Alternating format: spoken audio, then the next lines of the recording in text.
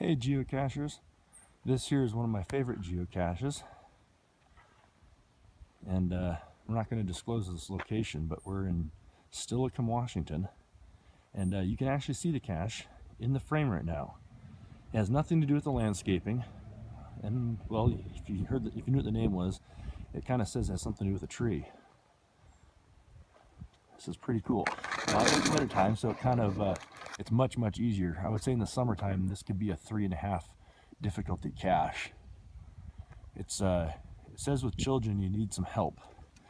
Well, I figured this actually is one of the hints. That thing right there, it's a block of wood to stand on. But uh, this is pretty cool. I checked, I thought it was this up here. This is pretty cool. Uh, oh, it's painted, so it, it kind of makes you think it has something to do with it since it's painted. There's another one on the other side. Right now the sun's just uh, low in the sky, so it blinds you if you looked at it. Now this is what gives it away in the wintertime. There's a little of this white stuff. It's not anywhere else in the tree. I think they tried to seal it. Well, anyway, this is all real moss, but look at that. That's pretty dang cool. Let's put that thing back. I've already found this. No need to look at it twice. Look at that. Seals right up. And I've seen this in the springtime in this little cut look at that. That's all you can see. Here's my finger, just for relative size.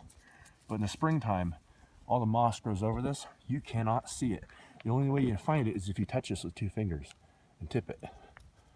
But hey, that is really, really cool. Love this cache.